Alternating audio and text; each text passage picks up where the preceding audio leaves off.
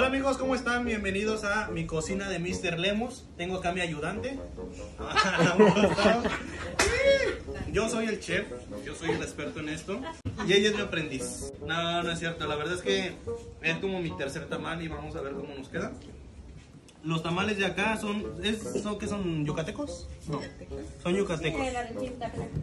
Y ella los, los está haciendo, los está haciendo así en la, ¿cómo se llama esa cosa?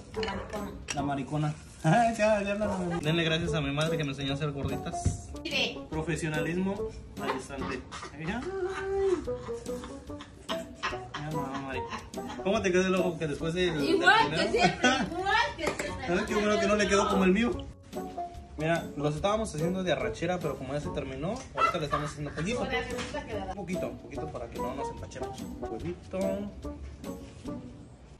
Dos hojitas de